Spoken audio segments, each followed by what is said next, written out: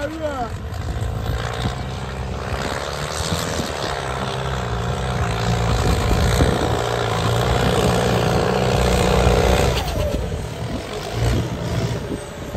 ਡਰਾਉਣ ਵੀ ਰੈਡੀ ਕਰ ਲਓ, ਕਿਉਂਕਿ ਜਿਹੜੇ ਦੂਰੋਂ ਕਵਰੇਜ ਆ, ਆਪਾਂ ਡਰਾਉਣ ਦੇ ਨਾਲ ਕਰੀਏ ਜੇ, ਤੇ ਸਵਾਦ ਆ ਜੂ, ਕਿਉਂਕਿ ਤੁਹਾਡੇ ਕੋਲ ਡਰਾਉਣ ਵੀ ਹੈ ਬਹੁਤ ਵਧੀਆ ਗੱਲ ਹੈ।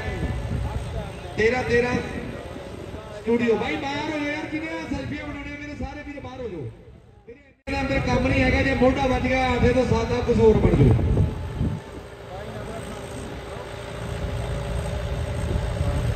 ਓਏ ਆ ਜਾ ਹੁਣ।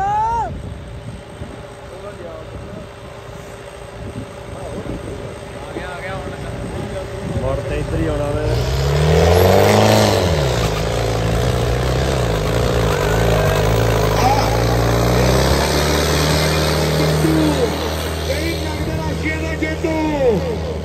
ਆ ਕਹਿੰਦੇ ਹੁਸ਼ਿਆਰਪੁਰੀ ਸਿੱਖਾਂ ਤੇ ਹੈ ਕਿ ਜਿੱਤ ਦੇ ਨਿਸ਼ਾਨ ਲਾਏ ਜਾਂਦੇ ਸਦਾ ਝੰਡੇ ਨਾਲ।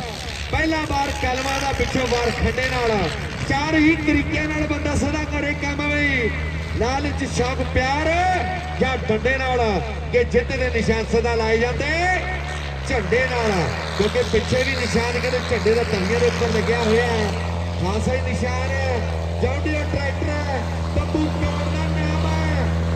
ਮੁੰਡਾ ਕਿਤੇ ਹੁਸ਼ਿਆਰਪੁਰੀ ਹੈ ਕਿ ਮਿੱਤਰਾਂ ਨੂੰ ਬੋਲਣੇ ਦੀ ਲੋੜ ਕੋਈ ਨਾ।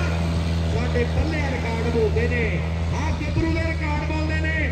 ਹਜੇ ਪਹਿਲਾ ਗੇੜਾ ਹੈ। ਜਦੋਂ ਦੂਜਾ ਗੇੜਾ ਹੋਇਆ, ਤੇ ਗੱਲਾਂ ਫੇਰ ਟਿਕਾਣੇ ਲੱਗਣੀਆਂ ਨੇ। ਮੈਂ ਵੀ ਡਰਾਉਂਦੇ ਨਾਲ ਨਾਲ ਕਰਨਾ ਕੈਚ।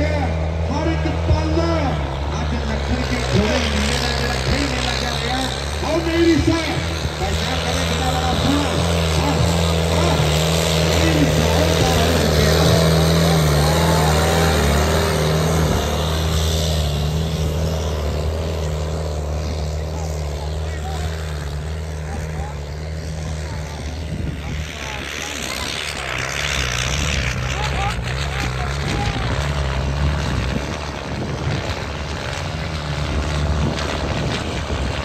ਭਾਈ ਡਰਾਉਣ ਵੀ ਚਲਾ ਦਿਓ ਯਾਰ, ਕਮੇਟੀ ਕਰ ਰਹੀ ਹੈ ਲਾਈਵ ਵਾਲਾ ਸਾਡਾ ਵੀਰ ਗੋਲ ਕਰੇ।